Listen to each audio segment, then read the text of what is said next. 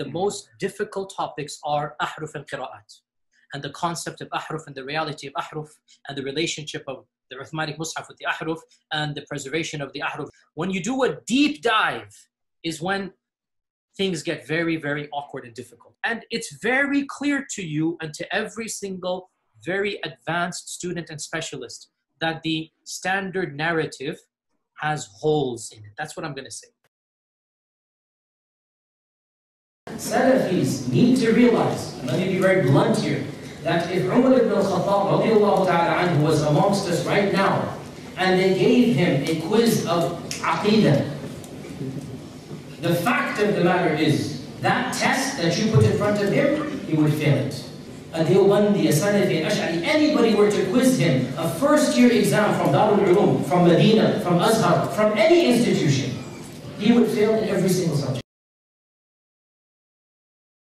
When there's a crisis, when the state wants to ban the Sharia, when the government issues something about all Muslims, Sunni, Shia, all of us, we need to come together and we need to have a united stand. There's a time and a place to join hands. There's a time and a place to show unity. There's a time and a place to ignore all of those differences. Does medieval Islamic law prescribe the death penalty for uh, uh, extramarital sex? Yes, it does. Yes, it does.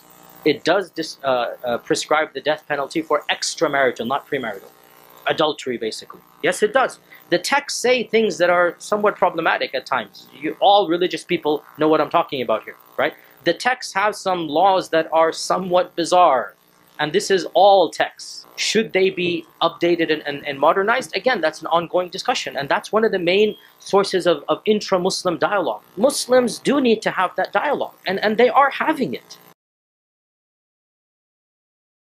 I consider this alim to be one of our fundamental maraji' marji'as, one of our main people we look up to, and that is Sheikh Yusuf, Yusuf al-Qardawi. Wallahi, I admire the guy as a towering intellectual genius, as somebody who understands the Sharia and its applicability in modern times. As an alim, I don't think anybody can rival that type of scholarship.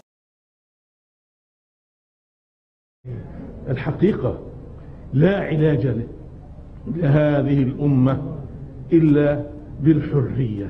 أنا قلت في بعض برامجي أنا أقدم الحرية على تطبيق الشريعة الإسلامية. أنا أقدم الحرية على تطبيق الشريعة الإسلامية. نتمسك بالديمقراطية ونقاتل في سبيلها. نحن نريد بلدا ديمقراطيا ديمقراطية حقيقية يريدون دولة دينية يريدون والله ما نريد دولة دينية ولا يريد أحد دولة دينية.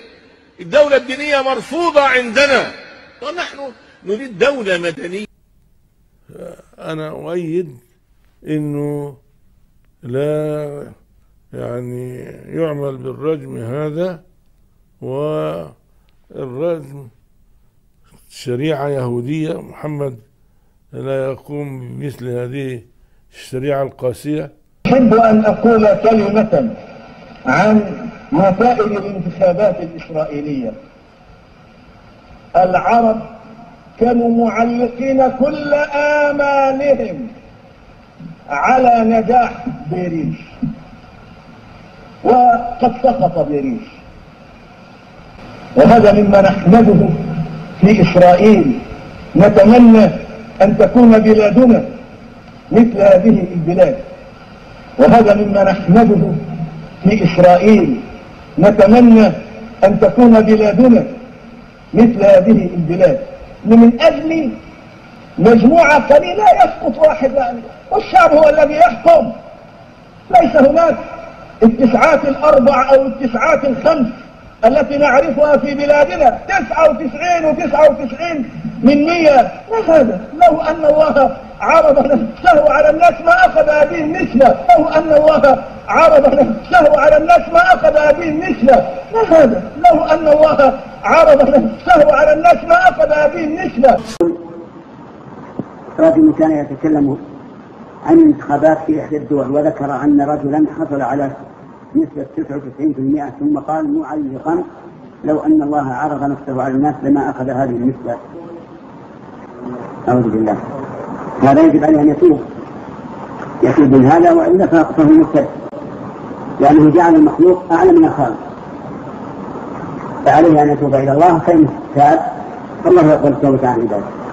وإلا وجب على ولاة الأمور أن يضربوا عنقه As an alim, I don't think anybody can rival that type of scholarship.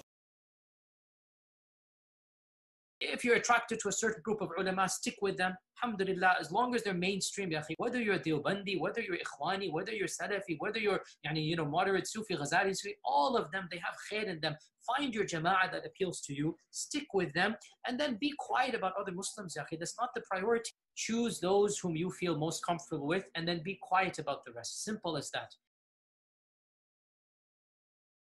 Ibn Abdul Wahhab fought decades of jihad in his lifetime. He and his group and army fought other people, conquered lands, expanded their lands under the name of jihad, not under the name of political war, under the name of jihad. Who was he fighting? He was fighting fellow Muslims. Who did he consider these people to be? Kuffar and infidels.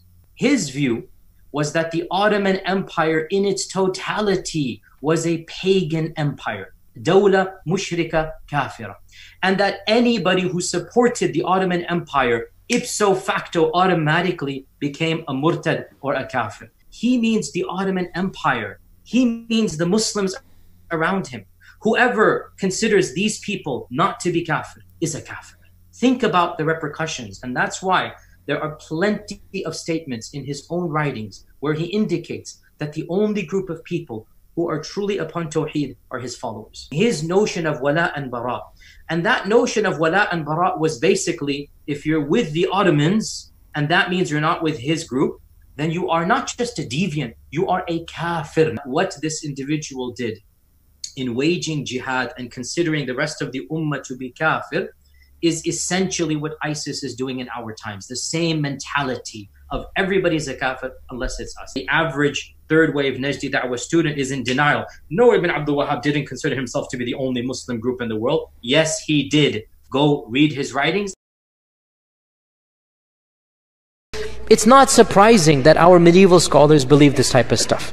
Now, obviously, dare I say, anybody who knows science and geography and modern civilization, you cannot believe you cannot believe that there is a tribe for 4,000 years trapped behind a wall.